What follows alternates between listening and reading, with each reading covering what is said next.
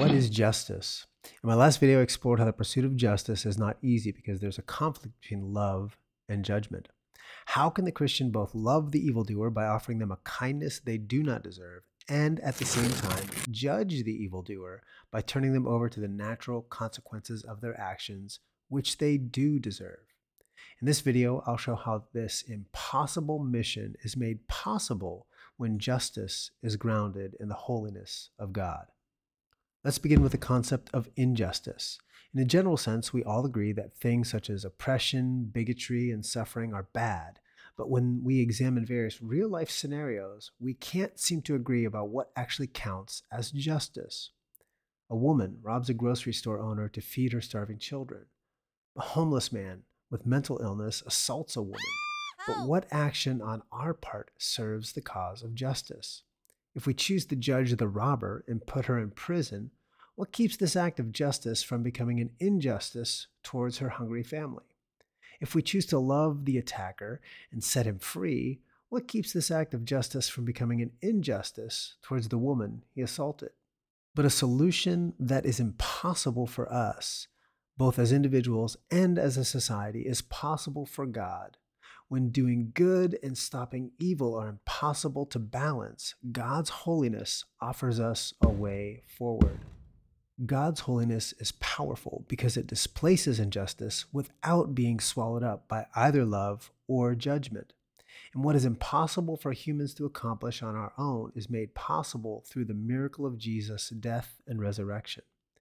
The book of Ephesians assures us that the justice of God, or what many Bible versions translate as the righteousness of God, has been given to us by grace through faith in Jesus Christ.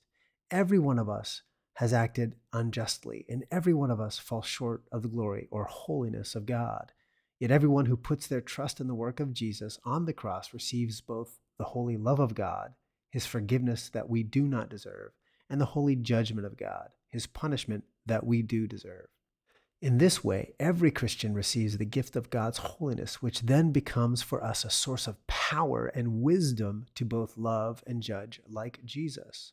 In fact, Jesus commands us to be salt and light to our troubled world.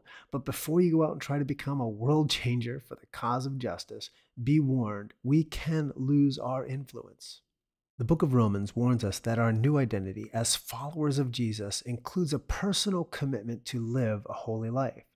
Paul says that we should not give up our bodies over to sin to be used as instruments of unrighteousness, that is, instruments of injustice. But we must offer our life to God as those who have been raised from the dead to new life. We must offer our bodies to God as vessels of His holy justice. Turning back to Ephesians, we can see what happens when we pursue justice outside of our personal commitment to holiness. Paul tells us that such people become callous and end up living a life marked by the injustices of greed, sexual impurity, and other unholy choices. But Paul says that this is not the way we learned Christ. Through the cross of Christ, God judged us and put our old life to death. Through the cross of Christ, God loved us and gave us a renewed mind.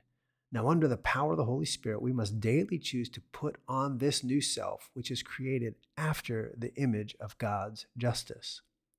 Now, when we apply this verse and others like it to the broader issue of justice for our world, we find that God's standard for right and wrong is not a social justice, where the societal norms or power structures determine our actions. Rather, our measure of right and wrong are grounded in the holy justice of Jesus Christ.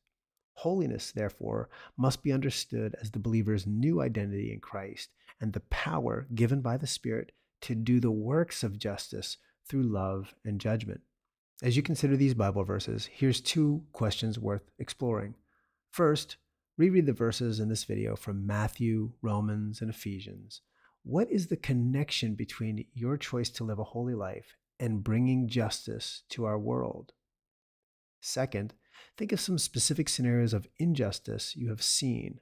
How does God's holiness, both his holy love and holy judgment, give us both the power and wisdom to live out the Christian mission of justice?